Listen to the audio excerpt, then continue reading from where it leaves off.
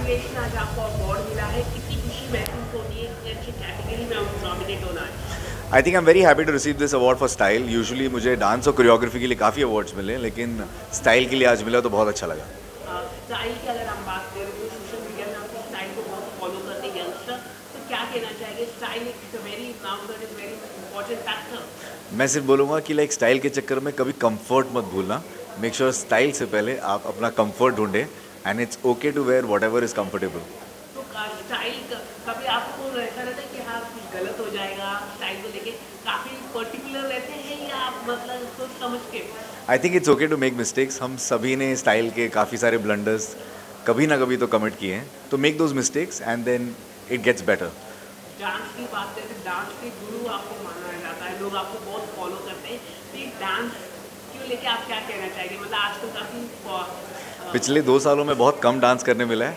Hope कर रहा हूँ कि आने वाले साल बहुत सारा चांस मिले, बहुत सारा टाइम मिले और मैं पसीने से ड्रेंच रहूँ और सिर्फ़ डांस ही करूँ।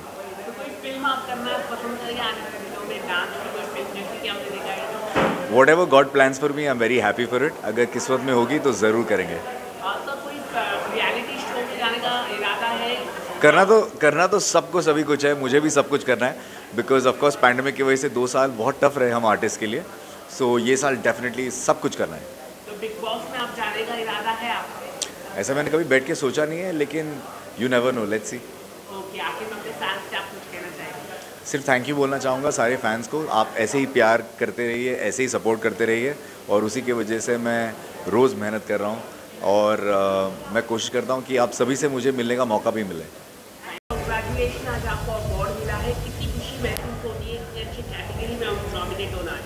I think I am very happy to receive this award for style usually मुझे डांस और कोरियोग्राफी के लिए काफ़ी अवार्ड्स मिले लेकिन स्टाइल के लिए आज मिला तो बहुत अच्छा लगा। तो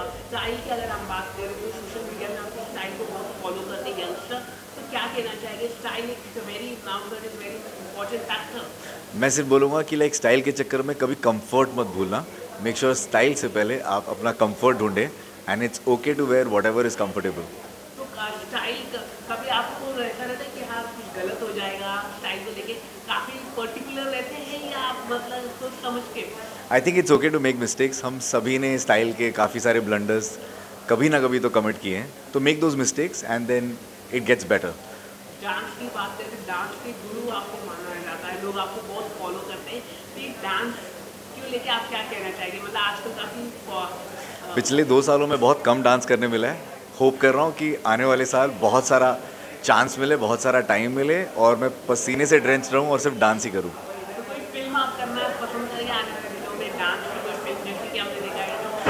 Whatever God plans for me I am very happy for it अगर किस्मत में होगी तो ज़रूर करेंगे।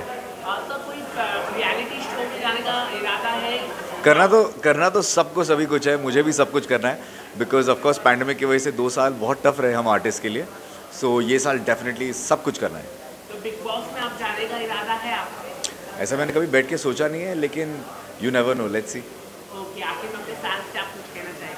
सिर्फ़ थैंक यू बोलना चाहूँगा सारे फैंस को आप ऐसे ही प्यार करते रहिए ऐसे ही सपोर्ट करते रहिए और उसी की वजह से मैं रोज़ मेहनत कर रहा हूँ और uh, मैं कोशिश करता हूँ कि आप सभी से मुझे मिलने का मौका भी मिले।